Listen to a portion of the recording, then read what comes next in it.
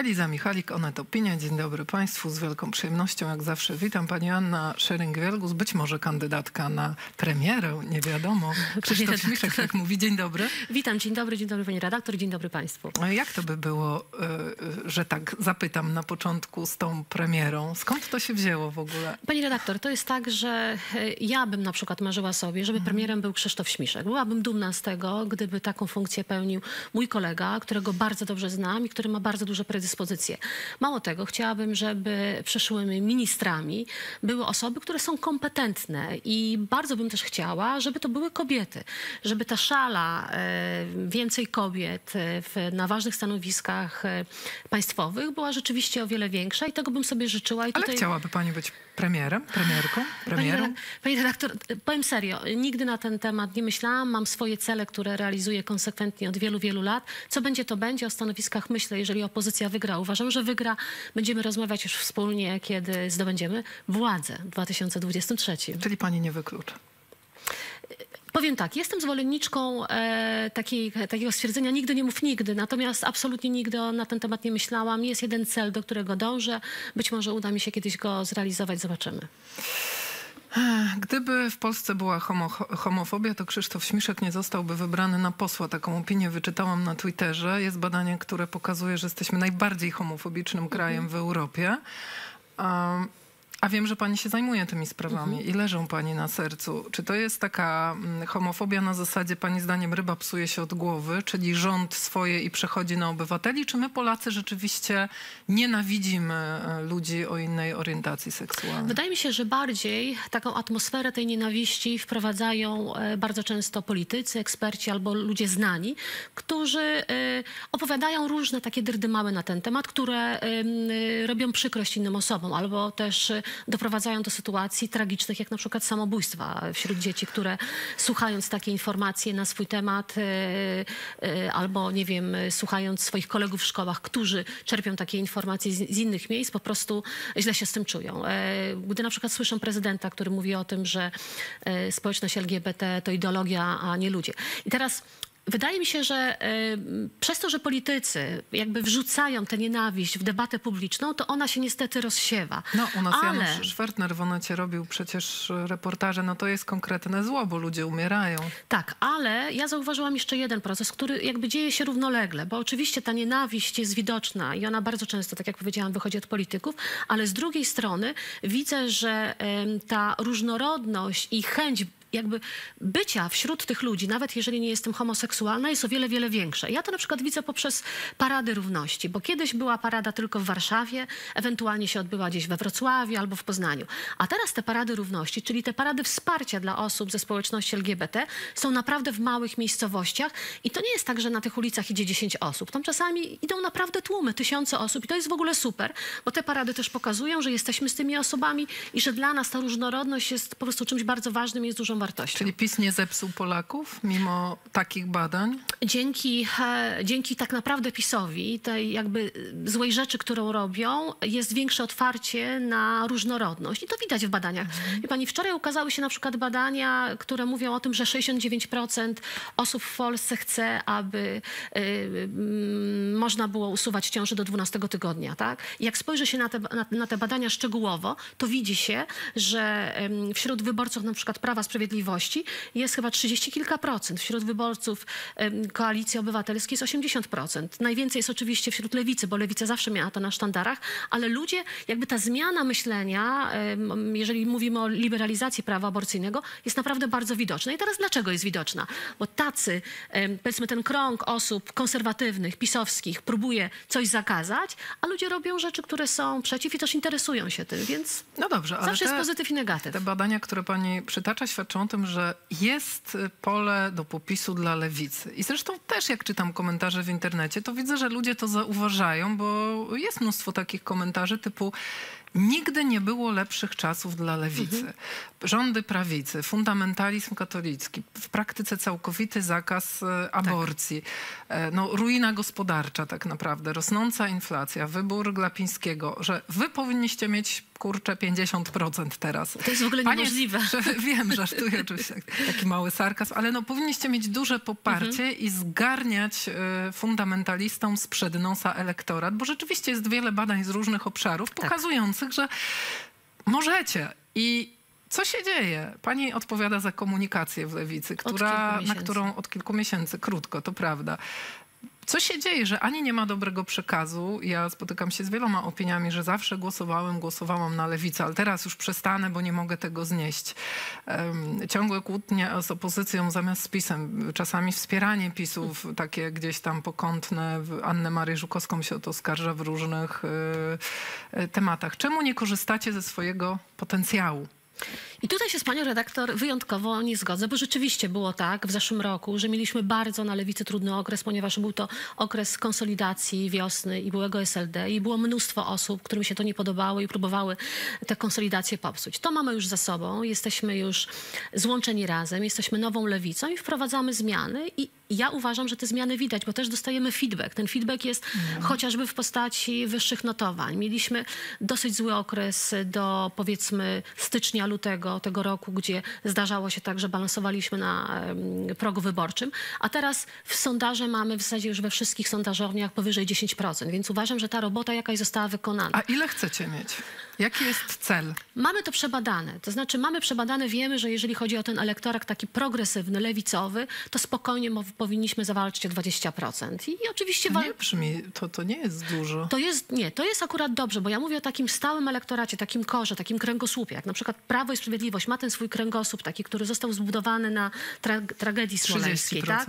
On się troszeczkę już zm- zmniejsza, to my też, każda z partii powinna taki mieć korowy swój elektorat i, e, i Lewica to robi. I oczywiście jest dużo jeszcze czasu przed nami, ale ja akurat pod tym względem, i mówię zupełnie serio i poważnie, jestem bardzo pozytywnie e, nastawiona i uważam, że będziemy mieli jeszcze więcej. Robimy to zresztą, e, ten wzrost e, w sondażach to było takie co miesiąc był po 1%, bo wydaje mi się, że trzeba też pokazywać, e, e, co mamy do przekazania. I my tak naprawdę od stycznia przekazujemy mnóstwo pomysłów, e, A co, ma, opowiadając co wizję. do przekazania, gdyby pani tak krótko mogła teraz powiedzieć do swoich wyborców? Przede wszystkim lewica na swoich sztandarach, taki mamy plan i taki mamy pomysł i już to zaczęliśmy pokazywać. Mamy rodzinę, ale rodzinę, która będzie czuła się bezpiecznie. I nie rodzinę taką, którą lansuje Prawo i Sprawiedliwość, czyli mama, tata i dwójka dzieci, ale rodziny wszystkie, które są. Bo Prawo i Sprawiedliwość zapomniało, że rodzin w Polsce mamy naprawdę bardzo dużo. Czasami jest to na przykład matka czy ojciec samotnie wychowujący dziecko, który teraz dostał e, niestety e, bardzo dużo e, przy Nowym Ładzie, nie może się odliczać, prawda, tylko półtorej dziecka może odliczyć i tak dalej.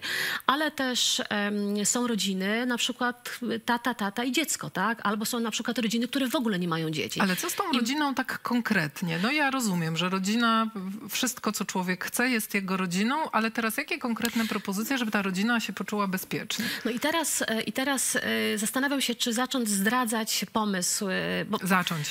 To znaczy tak, przygotowujemy się i ruszamy pod koniec, powiem, mówię to pierwszy raz, e, pod, koniec pod koniec czerwca startujemy z dużym projektem Bezpieczna Rodzina i ruszamy w miasta powiatowe na taki duży objazd, gdzie będziemy przedstawiali konkretne propozycje i konkretne ustawy.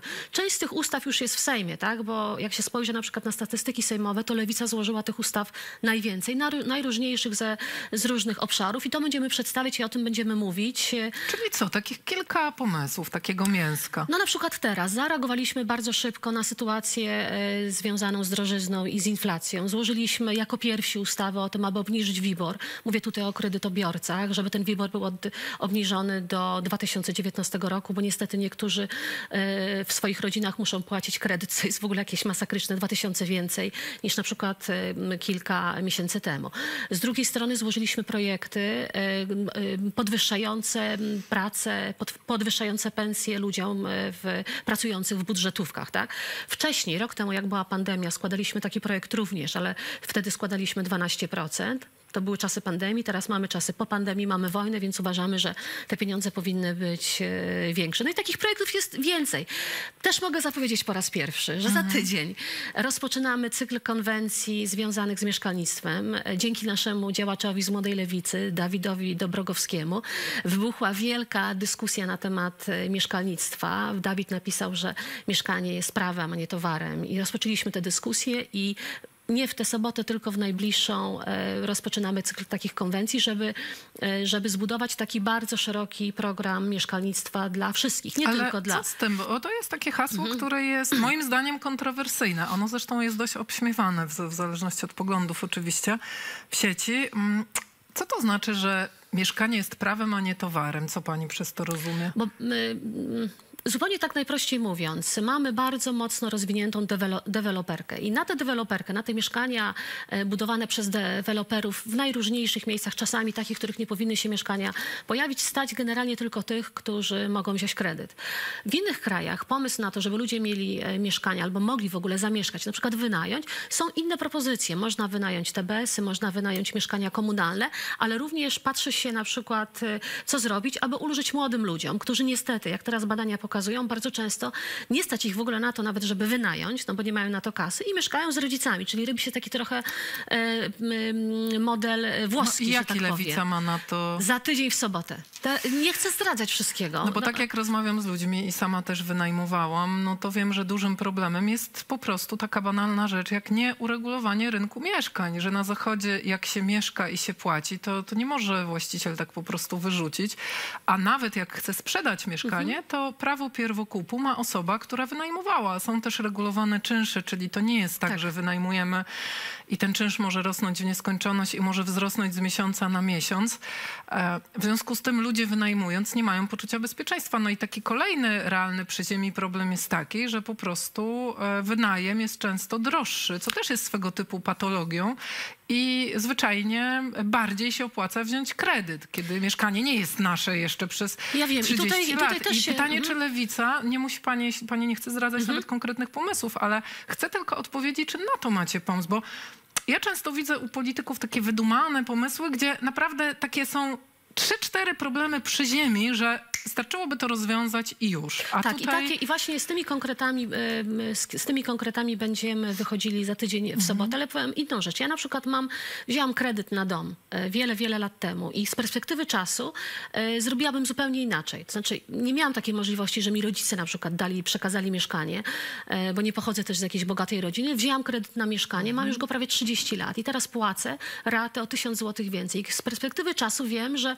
gdybym wtedy pomyślała o tym inaczej, to bym nigdy w życiu nie wkopała się w kredyt. A co by pani zrobiła? E, prawdopodobnie bym, to znaczy wtedy mi się wydawało, że nie będę w ogóle mieszkała w Polsce, ale prawdopodobnie bym wynajmowała. Jednak. Tak.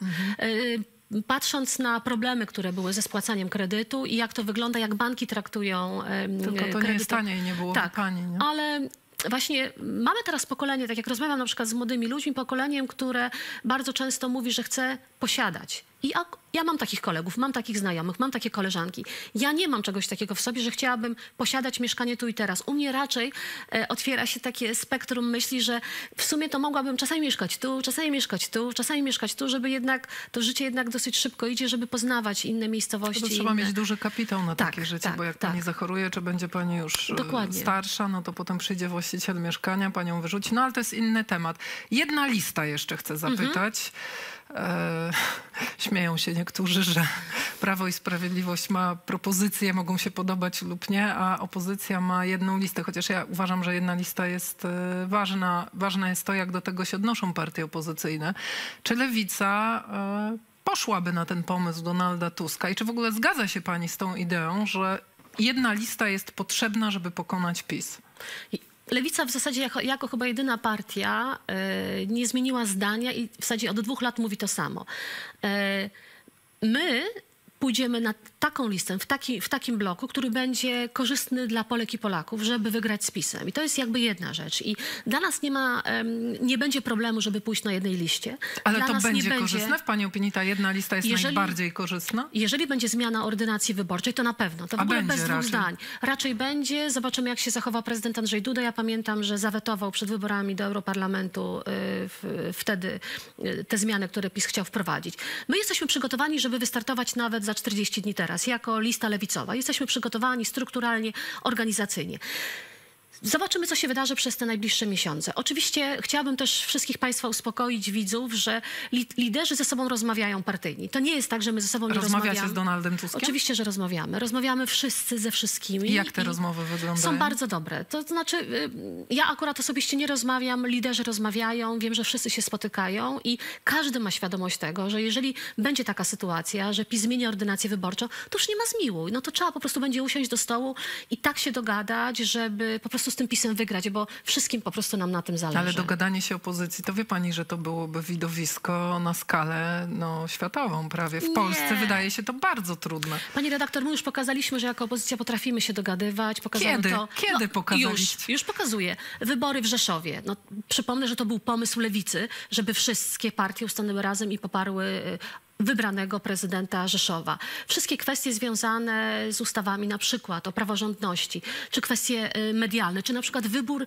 y, Rzecznika Praw Obywatelskich, to też była wspólna praca Czyli po opozycji. prostu musicie mieć e, bat nad głową. Nie, ale wszystkim zależy na tym. I jeżeli będzie, i jeżeli będzie zagrożenie, że, że, że, że po prostu będzie ta zmiana ordynacji wyborczej, no to naprawdę, tak jak siedzę tutaj dzisiaj, no nie ma innego wyjścia. Wtedy trzeba będzie usiąść do stołu i, nie wiem, gadać dzień i noc i doprowadzić do tego, żeby, żeby po prostu było tak, aby wszyscy byli zadowoleni. No dobrze, A dziękuję. intuicyjnie uważam, że opozycja wygra wybory. Intuicyjnie. A są na to Intuicyjnie. jakieś badania? Zamawiacie E, jakieś badania? Tak, badamy cały czas, badamy przepływy elektoratów, badamy, em, em, analizujemy sondażownie, ewidentnie widać, No i tak według badań, jakie macie szanse, żeby wygrać? Jako lewica czy jak, jako opozycja? Jak blisko to jest jako opozycja? Jako opozycja prawie posiadając, posiadając większość. Natomiast powiem pani coś, co może też zaskoczy. Sama wygrana z PiSem to e, będzie pikuś. Gorzej będzie później, dlatego że ja e, obawiam no ja się tego. Czy Pikuś już rządzi drugą kadencję. Ale powiem tak, najgorzej będzie to, jak wejdziemy powiedzmy już do tego przysłowiowego, powiedzmy polskiego domu i zaczniemy e, odsuwać te dywany i odkrywać rzeczy, o których teraz w ogóle nie mamy pojęcia. I posprzątanie tego e, i uporządkowanie tego, to będzie dopiero wyzwanie. A do sprzątania najlepsze są kobiety. Tak a No, propos tego, co dobrze. mówiliśmy na początku. Z tym nie będę polemizować. Joanna Szering-Wielgus, Dziękuję. dziękuję bardzo. Dziękuję, że byli Państwo z nami. Do zobaczenia.